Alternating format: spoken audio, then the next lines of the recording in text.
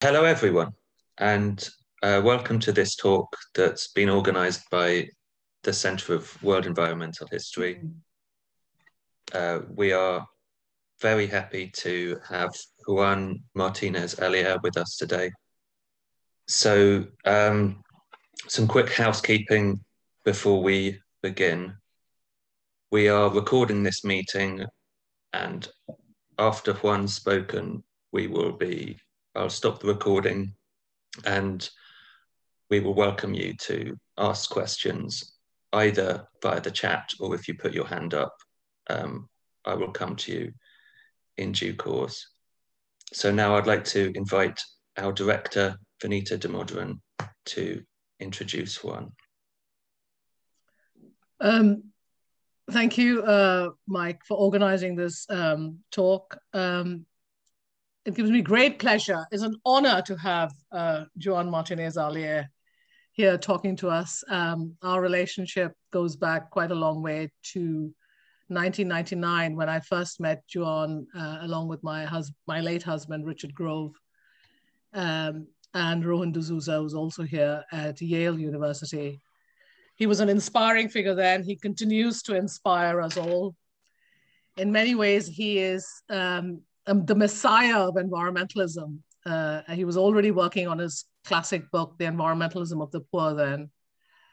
Um, and of course, as we know, he has coined several interesting uh, new words uh, to explain uh, and talk about environmentalism, including uh, ecological distribution conflicts. He runs a website funded by the ERC called the eJolt Atlas. Um, and and despite his the wealth of his scholarship, he is an amazingly humble man uh, who's who's mentored several young scholars. Um, just a quick uh, list through his books. Um, in 1971, he uh, produced Laborers and Landowners in Southern Spain. It was interesting to note that his early work was on hacienda plantations um, in Cuba and Peru, but of course, we know him much more for his work um, in 1997, a book which I still teach, Varieties of Environmentalism, his 2002 book, Environmentalism of the Poor, and more recently, his Handbook of Ecological Economics. So I invite uh, Joan uh, to talk today to us, the title of his paper, which is beautifully written and, and very clearly articulated and argued, and which is available for all of you to look at um, circularity, entropy, ecological conflicts, and unburnable fuels. So thank you very much, Joan, for agreeing to talk to us. Thank you, Leon. So I, should I start now? Yes. And then what I'm going to, I, I'm not going to assume that you have read this very long paper. But so I am going to show a few slides and then you will, all of you understand what I'm talking about because the title might be a little bit difficult to understand, circularity, entropy, ecological conflicts, and this uh, living fossil fuels in the ground slogan or idea. So what I'm going to do is to is to go through the slides. And the first slide is about showing the atlas of environmental justice, meaning the atlas of environmental conflicts. As you see, we have nearly 3,500 by now. And many, uh, there is a big team doing this for the last eight years. And about 500 of those are related to fossil fuels. And of course, quite often means attempts to leave the fossil fuels in the ground, whether it's oil, coal, or gas. And the next one is, uh, the next slide is about the, the something that you all probably know, or should know at least, which is how carbon dioxide in the atmosphere is increasing. When I started to, because I am an economist, so I didn't know anything about the environment as an economist for many years. uh, or whatever I, I, had learned at the school I had forgotten. But then, of course, in the 1970s and 80s, I started. And in, I remember that in 92, at the time of the Rio conference, the concentration of carbon dioxide in the atmosphere was 360 parts per million. And today, it's reaching 420 parts per million. And every year now is increasing one or two parts per million. And the pandemic is not going to have any effect on this because it has been too short. I mean, it has been terrible and it is being terrible in many places, especially now in India, but has no great effect on the emissions of carbon dioxide, on, especially on the concentration that comes from the past emissions over the last uh, 200 years since the Industrial Revolution. So population is still increasing in the world, although it's stopping the rate of growth of population. And because of this, is we can talk in the same talk about two different things. The local attempts to keep fossil fuels underground for local reasons or also climate change reasons. And at the same time to see how this relates to the obligation we all have as humans, or we, the rich humans have at least, we have the obligation to reduce our emissions of carbon dioxide and other greenhouse gases. So the first slide now shows, the next slide shows uh, in, in how in India, quite recently, some young people I don't know where this was taken, probably in Bangalore. Uh, they are demonstrating, probably it's a Friday, Fridays for Future demonstration. All my slides have the sources at the bottom, so you can check if this is available, as I hope will be the, the, the slides, and also the paper is available, so you can find the sources. And I want to focus on the person at the center of this slide with this slogan is a performative slogan, isn't it? It's like uh, saying leave oil in the soil or leave coal in the hole. She's saying fund farmers and not coal. So she's a well-known person because she was, I think, well, anyway, some of these people were arrested not long ago. Uh, and so the next one, please. This is from India. And the next one is not from India, is from the Philippines. Is both a photograph taken from a, from a published article, an academic article by Dr. Talina in World Development. And also the source is the Atlas again. I won't repeat time and again that the source is the Atlas because all the slides the source is the Atlas, the iconography in the Atlas. The Atlas has a lot of words. We have explanations about each case, but we also have some photographs and some links to documentaries. So this is in Southern Philippines. Well, it's very clear. This demonstration is about several things, human rights against Duterte. Philippines is a very violent country against environmentalists and also against defenders of human rights in general. And this is in South Cotabato. And the coal in question is a few, a few uh, million tons of coal, not so few, quite a lot of tons of coal, which would be mined in open cast mining, in open pit, so destroying the the agricultural fields and the vegetation in this. This has been stopped for the time being, but I don't know for how long it will be stopped. So here we have one first case in which we could count the coal which is going to be left under the ground and what this would mean in terms of carbon dioxide, which is not going to be produced by combustion. But in this particular case, the local people are not even mentioning climate change. They have enough with Duterte and the police and everything they have to cope with to worry about world climate change, about which they are not responsible in the least because they are poor people with little energy, exosomatic energy consumption. So the next slide, please. Because I haven't learned to do it myself. The next slide is also in the Philippines, northern Philippines, near Manila. And there is a person, Gloria Capitan, who was killed because she was opposing not a coal fire power plant in this case, but just a deposit of coal in, or, in order to then build a coal fire power plant. This was about five or six years ago, and is one of the many people actually in the Philippines who have been killed in this kind of, of encounters. In this case was a, a, a paid a eh, killer who killed her. And she was a grandmother, and the grandchildren went around when she was killed. And she's not the only grandmother that will appear in my presentation. So we have now two cases from the Philippines. The next two cases, please. The next two cases are to the north of the Philippines in Japan.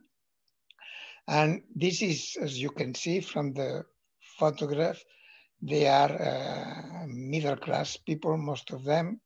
Uh, and this is in, in, yeah, in, in Yokosuka, which is in the Bay of Tokyo. And in Japan at present, after Fukushima in 2011, there is what some people call a coal renaissance, but it's not so big, but they are trying to build a few more coal, coal-fired power plants, coal FPP no, CFPP, coal fire power plant. And this one would be like 1,000 megawatts. Remember this, coal fire power plant, 1,000 megawatts, because we have other example. The 1,000 megawatts of electrical power uh, produced with coal burning means approximately six or seven million tons of carbon dioxide. In this case, I'm not sure whether they have been able to stop it or they are still fighting in order to stop it. And the next one, please, is also in Japan. The next one and is in, in, in Chiba uh, prefecture and is called Soga. And also, if you're, some of you might be able to read Japanese, but even those who are not, you can see down in the in the in this photograph. And to the right, it says climate justice for all. So the local people are complaining because, of course, they don't want the pollution from the coal power fire plant in their place. But they are also struggling and very conscious that there is a global issue of climate change produced by the excessive amount of greenhouse gases. And one of the main one, well, the main one is carbon dioxide. So here we have local, as so often, local protests linked to a global issue, which is a very important issue. And what they are asking is not to build this coal-fired power plant. The next one, please. the next one is in, in, in Karnataka, and I put it quite recently, or we, in fact, we updated it because quite recently, a couple of years ago, they put this stone there, uh, and the newspaper said a victory cast in stone. After 10 years, because this happened 10 years ago in Chamalapura near Mysore in Karnataka, they stopped this coal-fired power plant. Again, 1,000 megawatts of power was foreseen as you see from this uh, grandfather uh, child, these are not the, the poorest people in India, is farmers, middle class, in this case, as a leader of this movement. But as we explain in the others, um, second hand, taken from local sources, uh, the leader was middle class, but many of the participants were farmers, peasants, who didn't want the whole area to be destroyed for a coal fire power plant to be built, isn't it? And there are so many cases in India and elsewhere of peasants uh, in India, in Jharkhand, in the north against mining or also against coal power uh, fired plants, like in Sompeta in Andhra Pradesh. There are some famous cases who are uh, local people, local farmers, peasants who think that the mining will be very bad and also building the power plant will be bad for them. Of course, we need electricity, some people would say, but they would say, well, but not here or not perhaps anywhere. The next one, please. So we have seen two cases from India. This is a very sad case because this happened about in October last year, and this is another grandmother, Fikile Ntshangase in KwaZulu Natal, in an anthracite uh, coal mine uh, from the Tendele company in Somkhele. And she was the local leader, leader of a movement called explicitly Environmental Justice Movement against open cast mining. And the mine is very near her home, what used to be her home. And she was also killed by some paid uh, killers. And also in this case with a grandson nearby when she was killed. And this, what I'm trying to, to explain to you on the side is that the, the participants in these complaints are quite often relatively poor people, at least compared to the owners of the mines or the owners of the of the power plants, isn't it? Uh, they're, they're local. She's a local woman uh, but uh, of different, different, not only different gender, different social class to some extent, can be uh, religious participants, can be uh, sometimes trade unionists, not so often. So the class analysis, if you want, of these environmental movements is something that is still a very open question. And this is what we can do a lot with this, with the others in which we have so many examples. But also I want to call your attention to herself as a person who was alive uh, six months ago or nine months ago, and now she was really killed. I don't know whether she would say that she was an environmentalist, probably because her movement was called Environmental Justice Movement, the local one. The next one.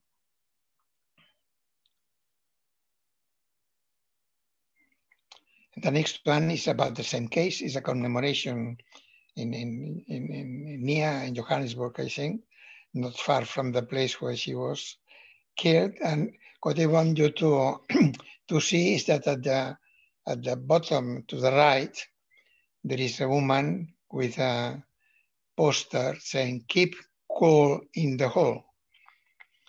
Another saying, coal kills. But this keep coal in the hole is something, I don't know who invented this, but it came after Nnimmo Bassey and other people in the Niger Delta in Nigeria had invented uh, the slogan or the little verse, keep oil in the soil. And after in Ecuador also, together with Nigeria, Oil Watch had been formed in 1997.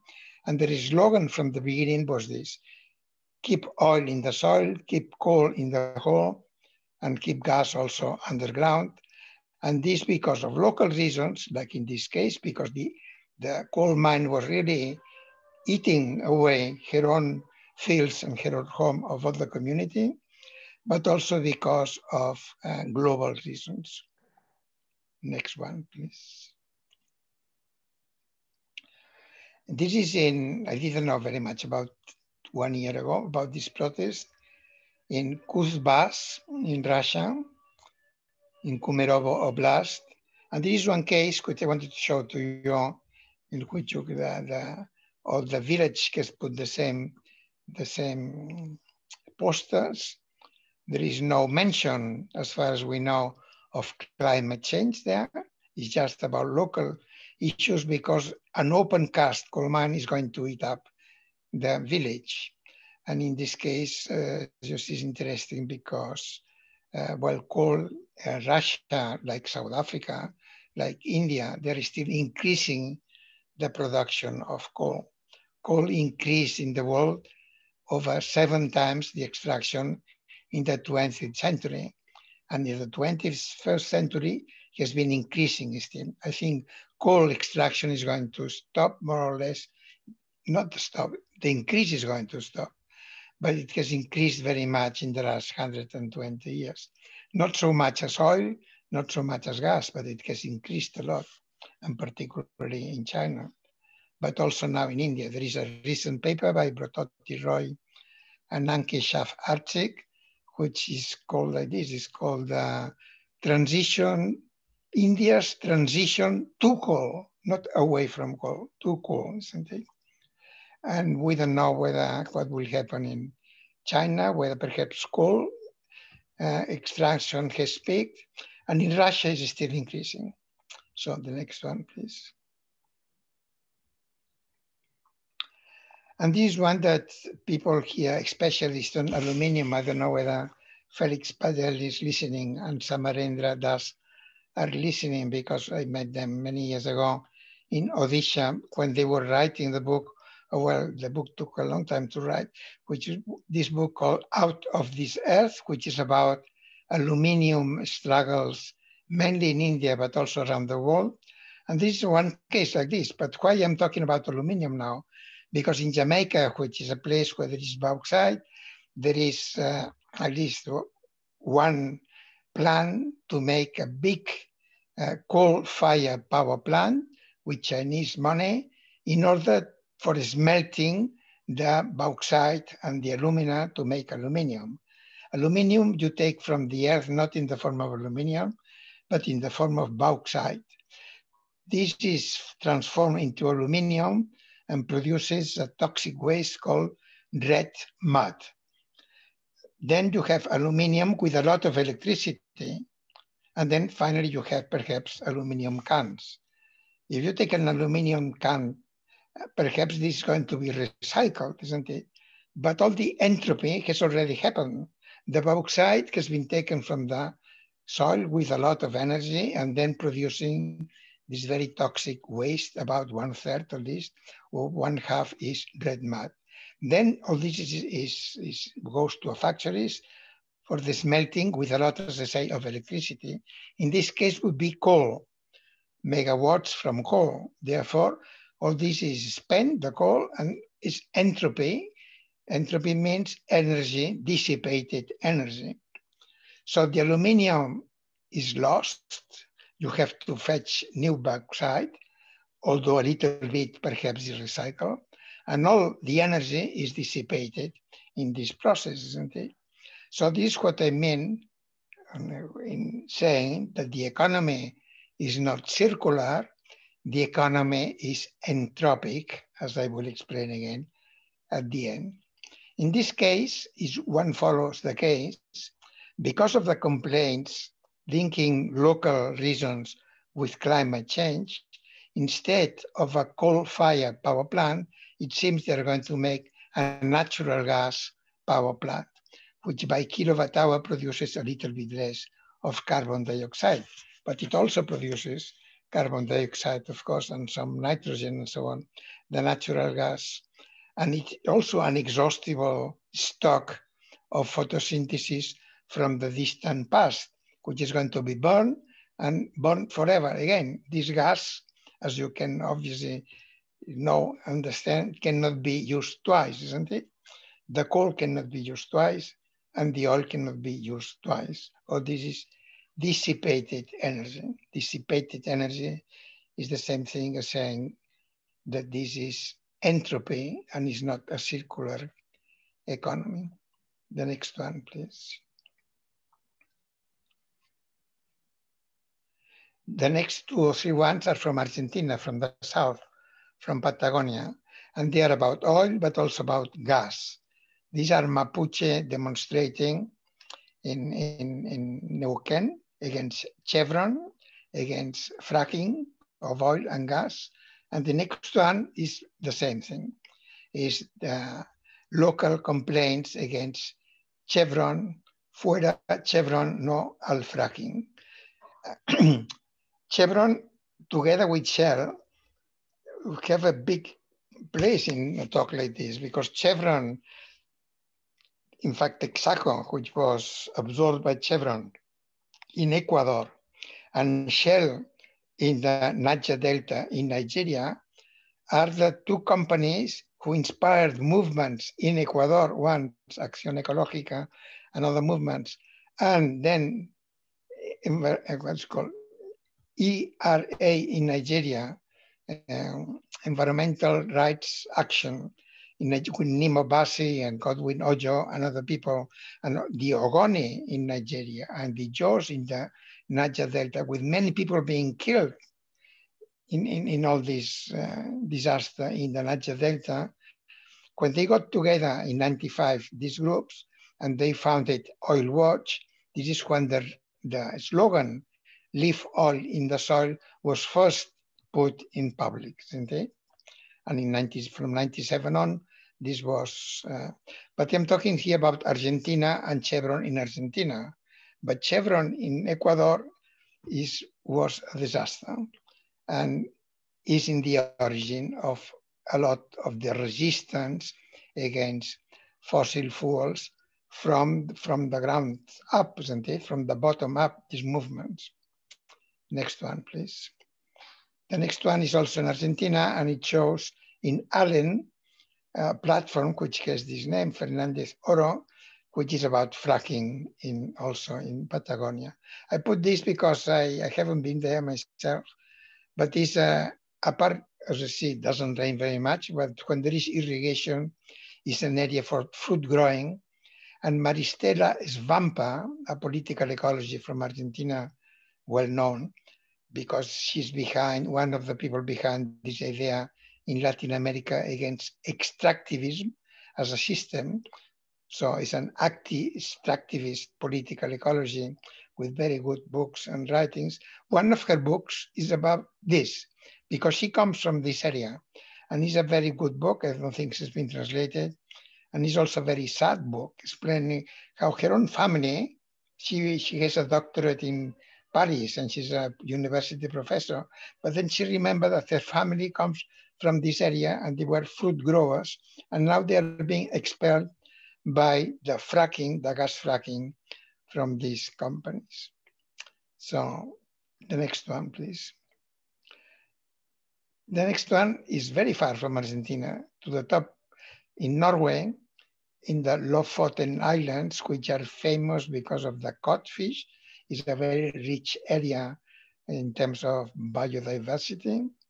Because of course, although the, the fossil fuel economy is entropic and our industrial economy is entropic, life on Earth is entropic in a way, but it's also anti-entropic because the sun falls every day and therefore there is life in, on the planet Earth and as Schrödinger and, and many other authors explained in the early 19th century, we can look at life on Earth as an anti or negentropic phenomenon. But the industrial economy doesn't work, doesn't work by sun energy falling today, by the photosynthesis of today. In part, it works like this. If you everything we eat has been produced by current photosynthesis, isn't it? But we are using stocks of photosynthesis, dead photosynthesis from millions of years ago in the form of coal, gas, and oil. We take it from the from the from under the sea or from under the ground, and we burn it and dissipate it. And in this case, in the Lofoten Islands, on the surface, there is a very rich fishery of codfish and probably many other fishes which we are not supposed to eat or we don't eat. Uh, so it's a very rich area biologically, although it doesn't look in the photograph, one doesn't see this. One sees people complaining against oil extraction and gas extraction. And in the Lofoten Island, they managed to stop it.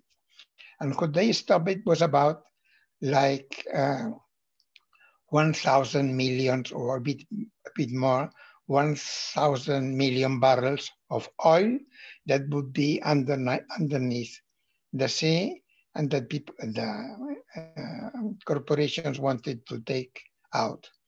This is in the order of magnitude to what the Yasuni ITT proposal in Ecuador wanted to do.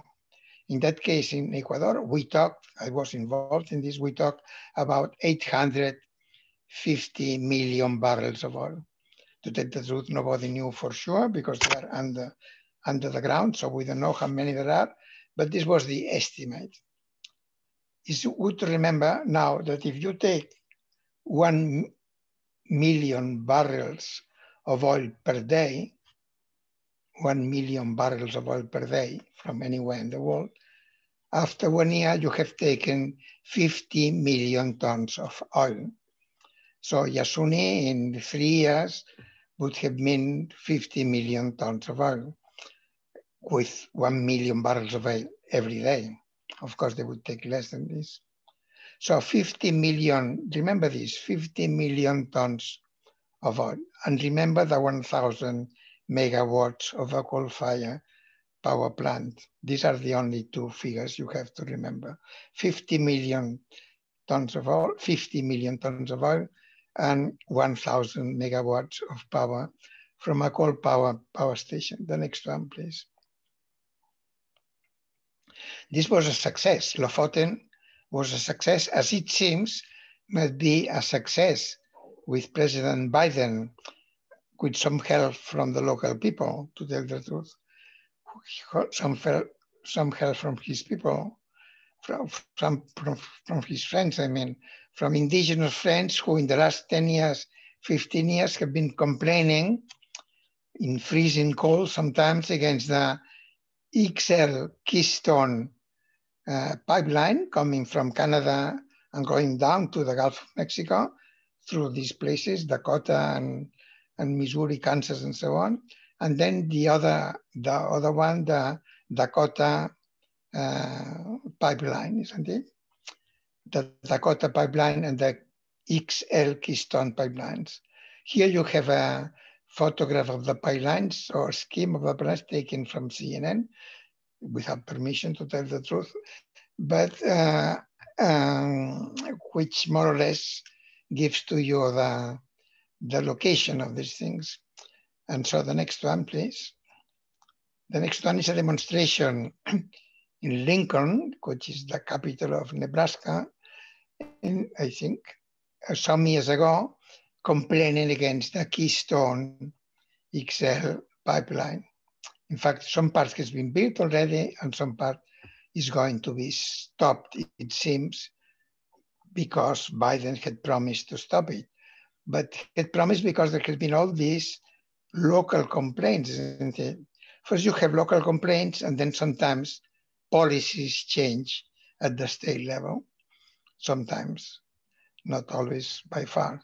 So what is important, I think, is the local movements and in this case, if you see the slogan, protect our land, protect our water, and protect our climate, but not because the pipeline is bad for the local climate, but because the oil, once burned, will produce carbon dioxide, and they are thinking of global climate in this case.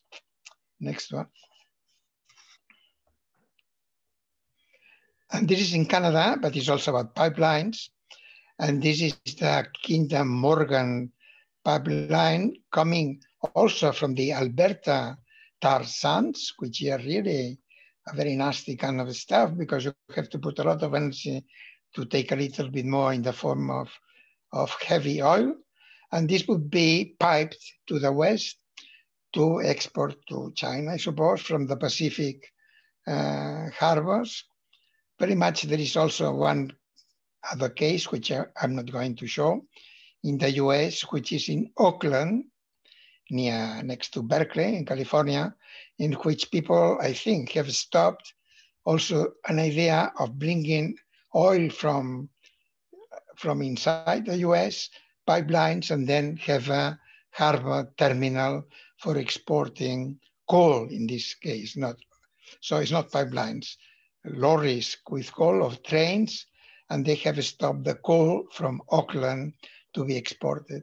So in this case, it's oil, so it would come with pipeline to the Vancouver or to the ports in the west coast of Canada for export. And this is very clear what they say. This is from 2014, some years ago, and there is still under discussion, as far as I know, this Kinder Morgan, Kinder Morgan Trans Mountain pipeline, which of course is going to be built on stolen indigenous land, isn't it? So the next one.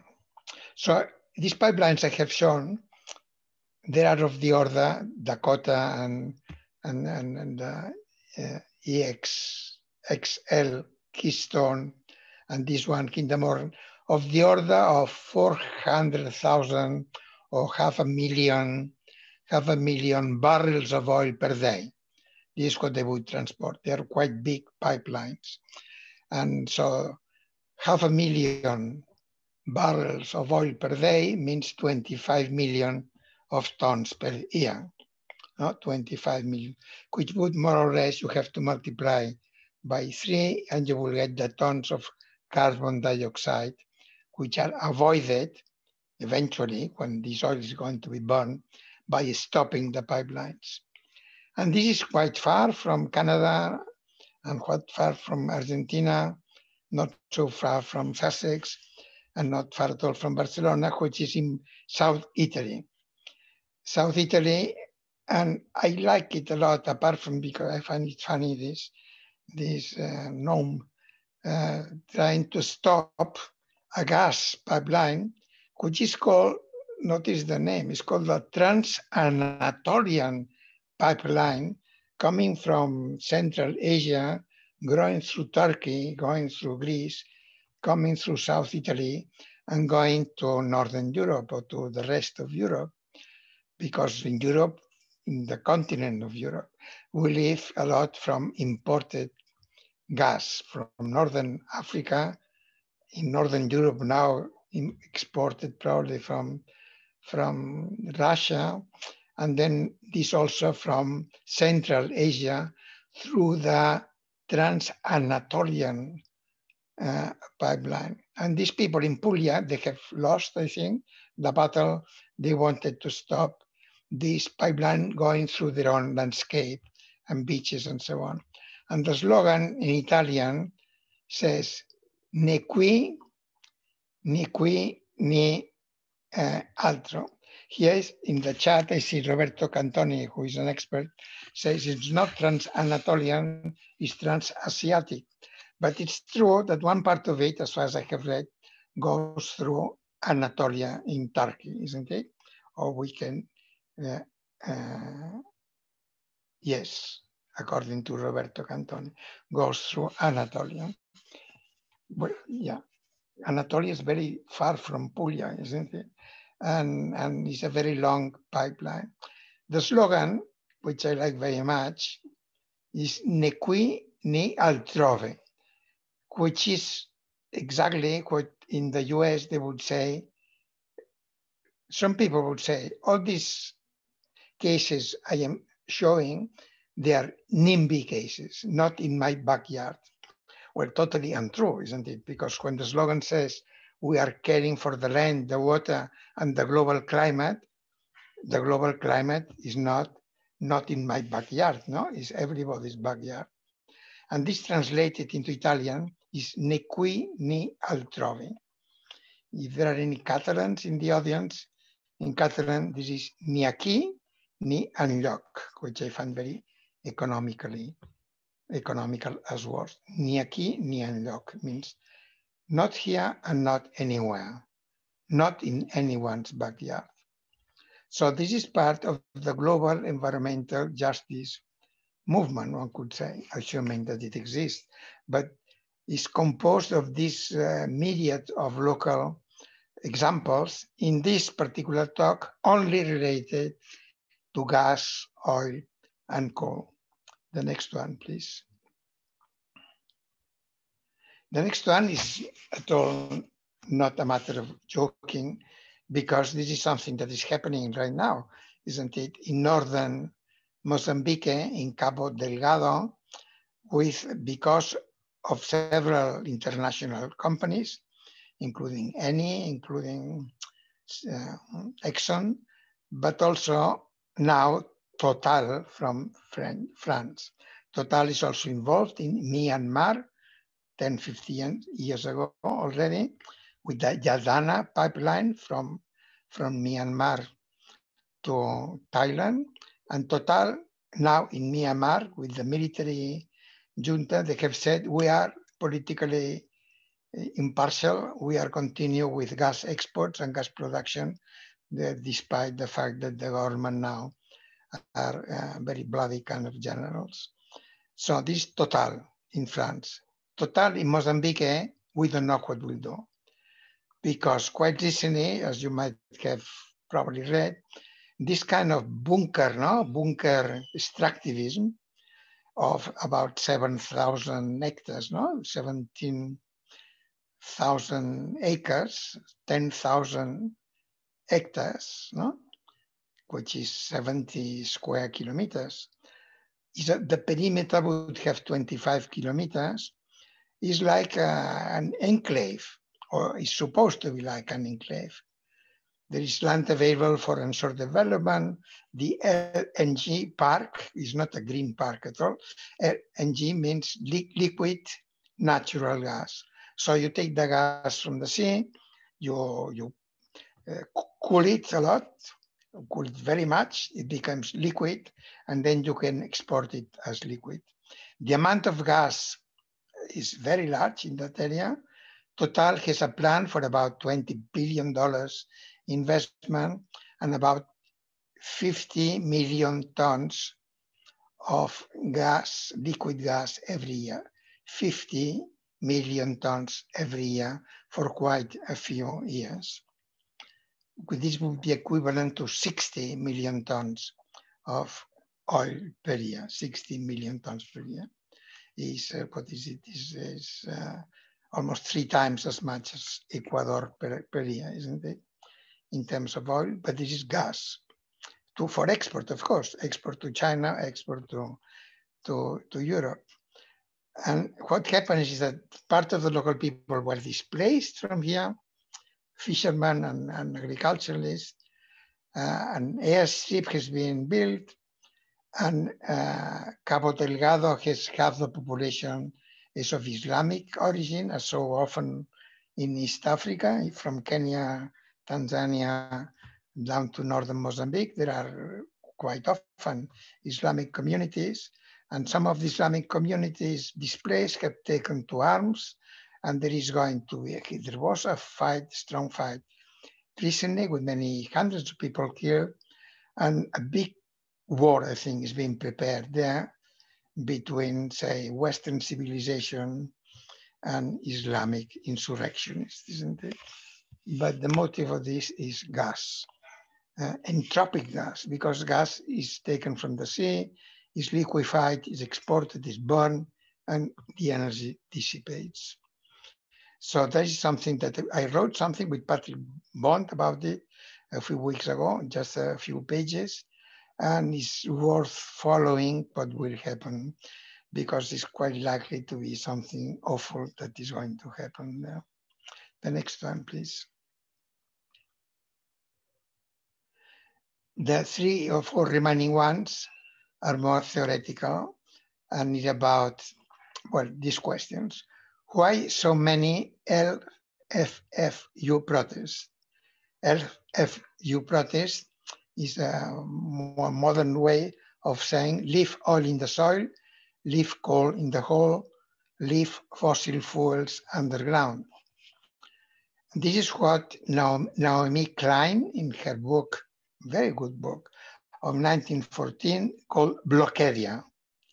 Because she said, I have found people in Canada and in, and she's from Canada and in the US blockading these pipelines the Dakota pipeline, the no, the Keystone pipeline, the Kinder Morgan pipeline. And they themselves, the people involved in these com complaints, they said, we are in movement called Blockadia. At least that's what she says in her book, isn't it? She probably improves a little bit the, the, the rhetoric, the local rhetoric. But I think Blockadia is a good thing to use. And we have used it in our own, in our own research blockadia. We have a blockadia map already for three or four years ago, which I am going to, to show. But we can ask clearly, and this is a genuine question, whether these protests are always geared to avoid climate change. And the answer is no.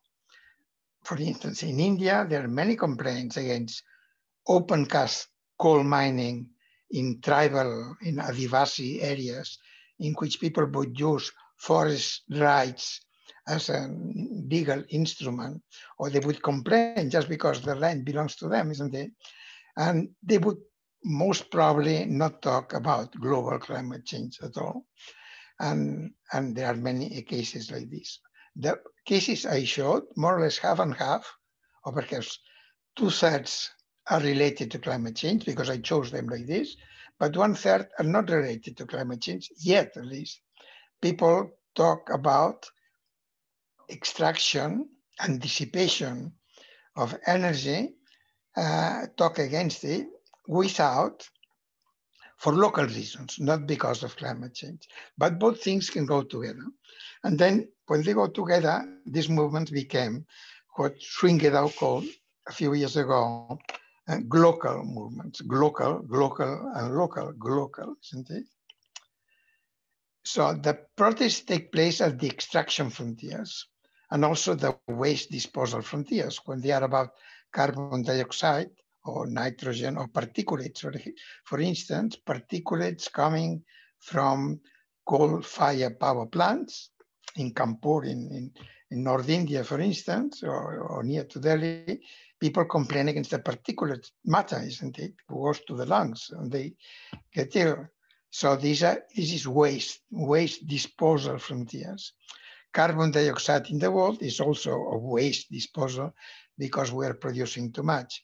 But quite often they are at the extraction frontiers. And the extraction frontiers keep moving because since energy is dissipated and materials are not used so much and also get lost, the extraction is moving, moving, moving to more remote frontiers. Could be the Arctic, could be the Amazon, could be Cabo Delgado in Mozambique. Even a non-growing economy, even a non-growing industrial economy would have to move all the time towards these extraction frontiers because the energy from last year, the fossil energy, has already been dissipated and lost.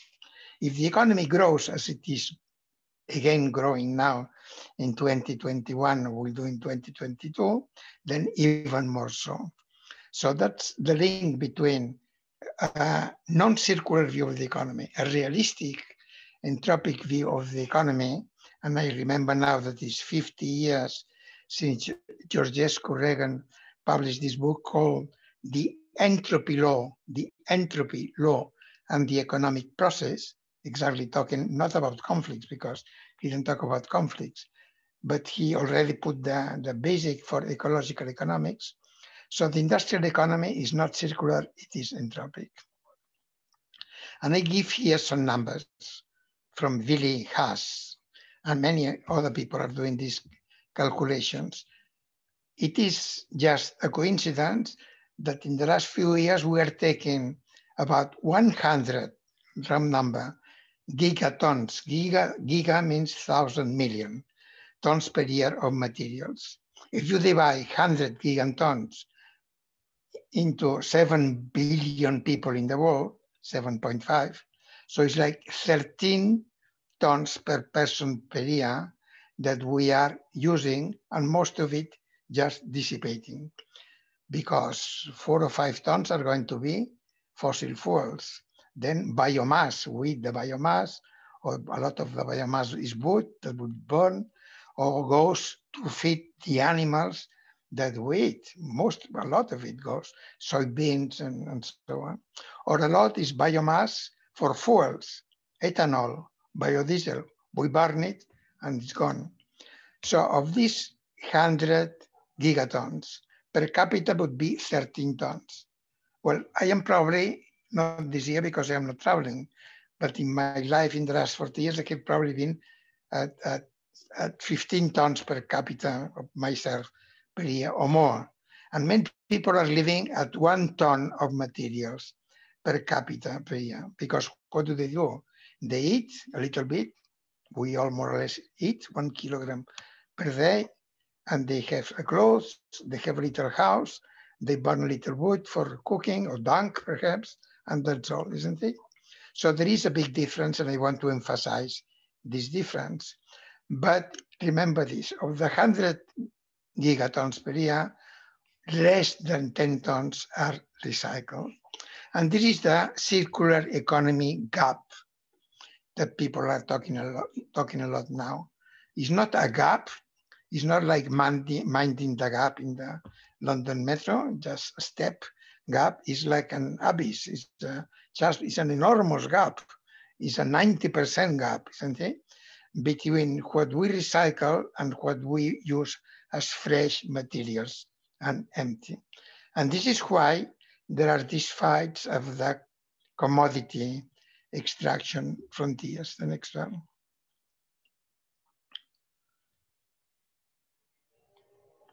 Now, in terms of climate change and carbon dioxide, we are producing, humans are producing between a lot the rich and a little bit the poor.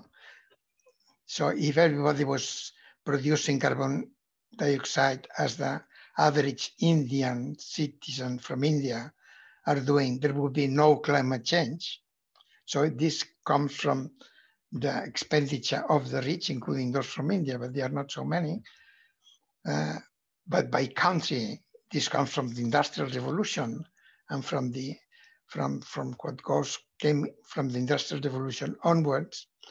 These 40 billion tons of CO2 per year should be reduced by half so that the oceans and the new vegetation would be able to absorb it, about 20 billion tons of carbon dioxide per year, without increasing the uh, concentration in the atmosphere that I showed at the beginning were reaching already uh, 420 parts per million, going to 250 before uh, the year 2050. It's increasing very fast. So we have to reduce from 40 billion tons, half. Uh, some of it comes from land use changes. So there are 35 billion coming from burning the fossil fuels.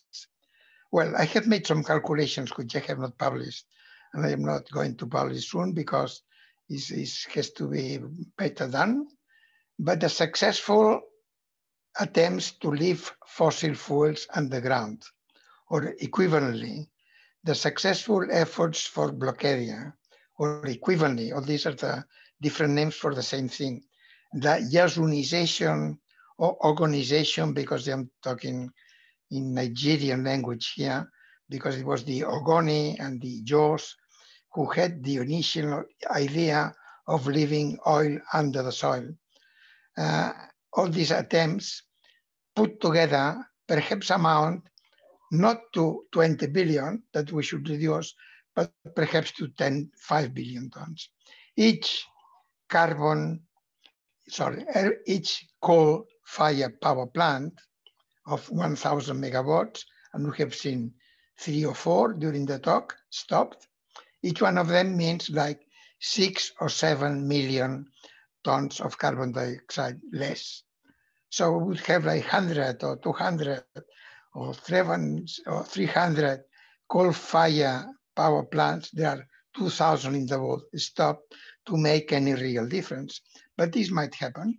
Why not? This might happen that as people complain for local reasons and they are reinforced by the climate change debate, all these kind of demonstrations we have seen in Philippines and in, in Japan, of course, and in other places in southern Italy against fossil fuels uh, go further. So this is more or less the end. If you can show the next one, please. The next one is just uh, to make clear that we are not, some people in the audience are working on this, I know, and we are not new to this because we have been publishing uh, things like a NIJOR report already 2003, which we call Yasunization because the Yasuni plan was still alive until Correa, President Correa killed it in 2003 or four. And this is a report of 200 pages with many examples around the world, uh, with many authors. Leah Temper is one, but there are like 20 authors of this EJOLT report number 13, which is in the web.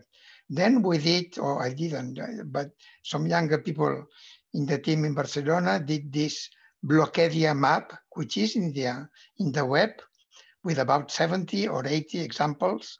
This is being used by some people around the world, sometimes uh, with uh, the proper acknowledgement, sometimes not, because of course they collected all these cases and there are in the others, so it's very easy to just go to the others, cut and paste, and then produce another paper. Well, they are welcome, but they should quote where they are taking this. And this Blockadia map, I think it was uh, young people doing this very enthusiastically. And this has produced an article, which is number three, which is only in Spanish so far. So it's like it would not exist, in fact, internationally, but it's a good article, I think, short article based on the Blockadia map. And going back to Arrhenius and, and the discovery of the greenhouse effect 130 years ago, because all these things could be could have been discussed already 130 years ago. Number four is a recent article, totally academic, totally in English, I mean, with all the credentials, with many authors, which published in environmental research letters, with three or 400 cases of a systematic mapping of protest against fossil fuels, but also, as somebody was asking in the chat, also against windmills and also sometimes against solar energy for different reasons. Windmills because they occupy a lot of land or because sometimes of the materials for, for batteries like lithium and so on. But I am not talking about opposition to renewable energy, so to speak. Here I am talking only about opposition to fossil fuels, which is going on because the bulk of the energy the industrial system uses in the world is fossil fuels. More and more, I'm not joking when they say that India is in a transition to coal, is also in a transition to, first, to solar energy and to wind energy. Everything goes up, but coal goes up, gas goes up, and oil goes up.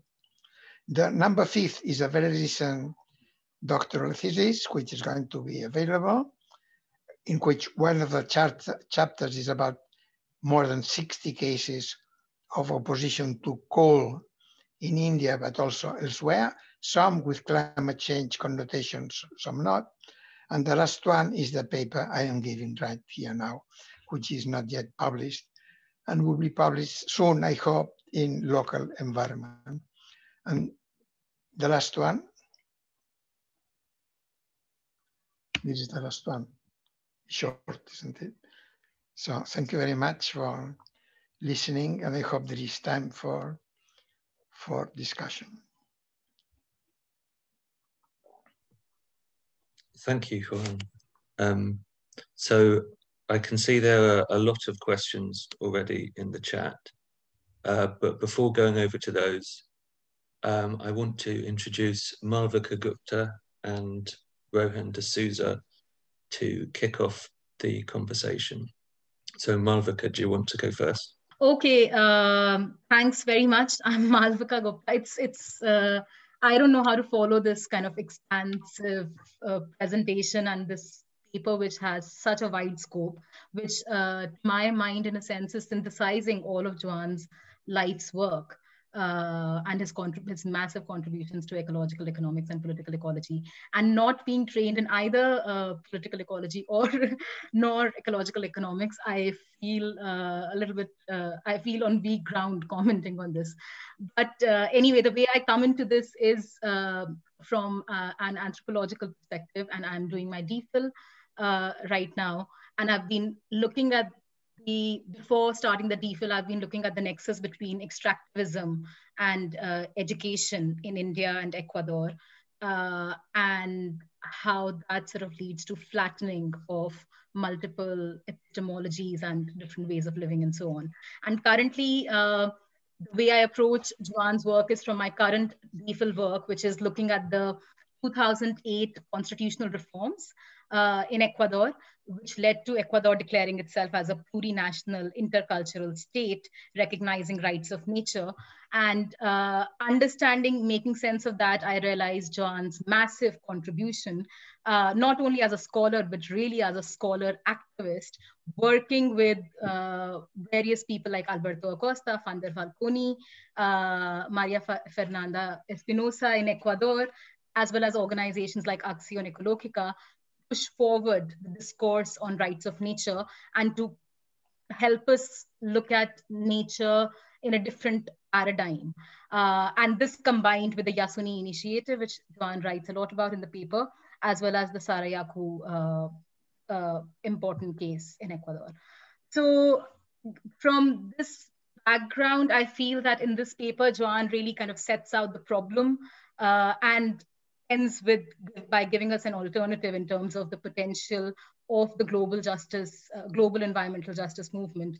In terms of setting out the problem, what I really liked about uh, the paper was the fact that he looks at the extraction complex as a whole. Although the focus in this paper is on fossil fuels, so coal, oil, and gas, uh, he looks at the extraction complex as a whole and the and the whole extractive cycle from the extraction of the physical materials to their transportation to uh, the point where it becomes waste.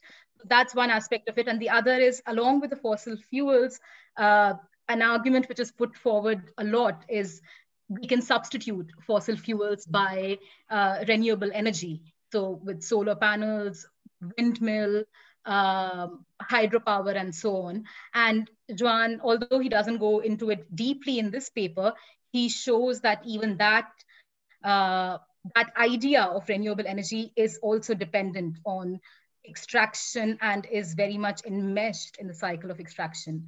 And then the third aspect of it uh, is the is his kind of slight critique, a very implicit critique of uh, technological optimism, where uh, electric cars uh, are, are, are suggested, suggested as alternatives, or technology in other ways uh, is suggested as alternatives. Uh, for example, Apple uh, saying that aluminium, uh, the, the, aluminium that we use for our uh, laptops is uh, recycled aluminium. And Joan very persuasively shows how this industrial economy is not circular, even though that's what the European Union in Brussels would like us to believe, or uh, China would like us to believe, or Apple would like us to believe. But so he, he makes a very persuasive argument uh, for the industrial economy not being uh, circular and and how it's entropic and how we need to look at this complex as a whole in, and also see the problems of looking at technology as a solution everything and how that's dependent on extraction of rare earth minerals and so on. And as this extraction complex goes forward, as he as he uh, he already discussed, it, it leads to pushing uh, uh, pushing forth the commodity frontiers, uh, and uh, in which he talks about two aspects. One is of pushing of the commodity frontiers in terms of commodity expansion, to spatial expansion, so occupying more land, more land grabbing, and so on, as well as commodity deepening. So again, the aspect of technology comes in where uh, one is using different kinds of technology to extract uh, uh, any commodity more deeply. So instead of uh, subterranean mining, you would have open cast mining, so on, and other technology as Chevron claim to use uh, and claims to use still now in, uh, in Ecuador. And so this pushing of the extraction commodity frontiers automatically leads to uh, uh, to, to a rise in ecological conflicts. And that's again Joan's massive contribution uh, from political ecology, how political ecology helps us make sense of these conflicts, uh, which basically foreground the incommensurability of values. And I here, I think uh, understanding this whole evaluation struggle, I find my own supervisors, Laura Rival's work very helpful and a, an important paper that she wrote uh, 10 years ago called Old and New Values of Petroleum, so to my mind, I think we can understand this uh, these valuation struggles in two ways. One is the uh, the incommensurability of values. So, for example, in Niyamgiri or in uh, in Orissa or in uh, the current struggle in Chhattisgarh around the Nandraj uh, mountain, uh, which Adani is due to mine, where where communities get together and they say this is this is a sacred mountain and this cannot be touched. So there are there's an incommensurability there. The other sort of aspect of the valuation of valuation struggles would be the Yasuni case, where you use the metric of money to uh, to see how much one what the value of one barrel of oil is uh, in comparison to value of storing oil in the ground and storing carbon in the ground. So I think again that's a, that's a, uh, that's a that's the sort of logical next step of the expansion of commodity frontiers these ecological uh, conflicts coming to surface. And uh, from there comes the alternative which one ends uh, his paper with which are these environmental justice movements and the leave fossil fuels in the uh, in the ground movement whether coal uh, leave coal in the hole or oil in the soil kind of movements which we have to take very seriously because again, going back to Ecuador, if one looks at Yasuni case and the Sarayaku case, one sees that uh, the Yasuni case was a movement before it was uh, it was taken up by the state uh, as, as a state uh, program, while in the Sarayaku case, we see it much more as an independent movement of the people united without uh, uh, without without any relation with the state.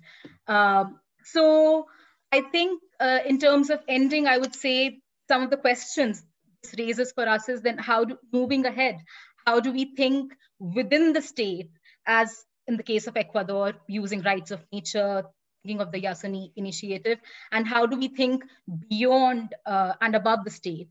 And the second aspect is how do we rethink uh, the norms and categories that we take for granted, such as even of nature. So I, the other thing which I really like about uh, Joan's paper is that how he draws upon political ecology, ecological economics, uh, environmental and economic history make his argument. And I feel uh, Another valuable addition here could be ecological and economic anthropology, which can help us, uh, economic anthropology can help us make sense of these valuation struggles better. And ecological anthropology can help us make uh, sense of the multiple relations that exist between human beings and nature. And nature is not, for instance, in, in uh, the case of the Amazon, for a lot of Amazon, uh, Amazonian communities, as the work of Philippe Descola shows, nature doesn't exist out there as as an independent entity.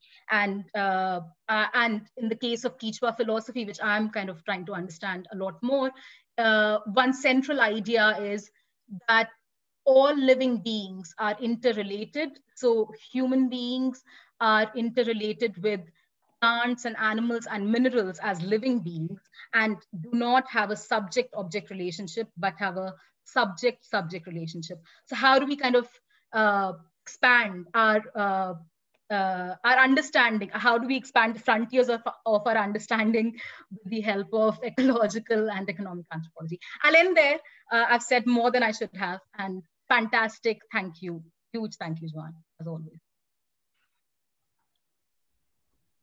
So i'm just going to be super brief. Uh, uh, i wish i'd spoken first because malvika has layered this now with far more uh, questions and directed us to larger complications in philosophy. So I, am just going to shut her comments down and just concentrate on Joan.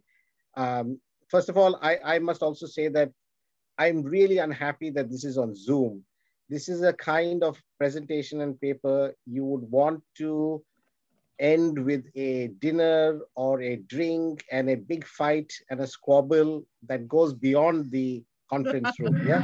So it's very, very sad that we have to do this on this very uh, limited kind of uh, framework of uh, technology.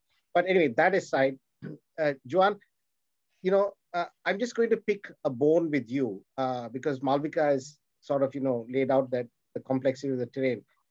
Um, you know, uh, when I read, uh, I think uh, uh, Naomi Klein's book, This Changes Everything, that whole section on Blockadia really got a lot of attention. Um, and I think she drew upon a lot of your mapping that looked at all these conflicts. Now, Blockadia is different from a lot of literature that worked on resource curse. The resource curse literature was the politics of plenty. You know, there's oil coming out and it's a distribution problem. That, you know, when this resource, when this uh, sort of uh, uh, wealth is coming out, the people who are local are just not getting their share. So uh, distribution conflicts uh, really was what um, defined uh, the resource curse. Now, suddenly you get Blockadia, where people are not talking distribution. They are talking about how do you value something that's kept back in the soil. Yeah. So conceptually, these are two very different frameworks. And I wish you could have put that in perspective because uh, in the distribution framework, uh, distribution, uh, resource curse conflict and distribution, it's very simple for us to say, okay, uh, people are being cheated. Local communities are not getting uh, the benefits from an extraction of oil or gas or whatever that it was that they were in. I mean, the, the, the locality really, uh, the people of the locality are not getting their just uh, uh, benefits from having previously sat on that land for whatever reason. Yeah. So uh, the distribution con conflicts was something that political economy was very, very good in terms of its methodologies and its frameworks. Now, Blockadia is not, not about distribution. It's really making a case for why you should not generate wealth. And you have to actually make a case by saying something is more valuable that is not that is left untouched rather than uh, uh, uh, value created by extraction. Yeah. And I didn't quite get in your paper where is that value coming? Is it going to be an economic value? In which case, you're going to say climate change uh, has these many impacts and these many consequences. So it's more valuable in terms of the consequent impacts to keep it under the ground. That's one argument. The second is a moral argument, uh, which you seem to have been making that these local communities don't want to be shoved aside. Uh, they're not bothered about whether they will make profits from it or not, but uh, that in the long run of things, uh, they will be saving the planet by preventing um, carbon uh, from emitted into the atmosphere. So you are saying small communities who have potentially uh, the possibility of getting wealthy will take a hard moral decision to save the planet. I really don't know how that is going to be politically understood. Are we going to ask communities that please sacrifice your wealth of the present to save the planet of the future? And all we can promise you is that um, we are very happy with what you're doing, right? So I don't see where Blockadia actually can organize because it is really at some level asking people to just stay where they are, right? Um, so I didn't quite get how you are trying to unite all these uh, different communities other than saying, okay, oil and gas can shove us aside and we are not going to let them shove us aside. We're going to make a demand on our land. But, but you're saying they're not only saying that, they're also saying, hey, we want this kept in the soil. And so even if you compensate us, we're not going to take the compensation.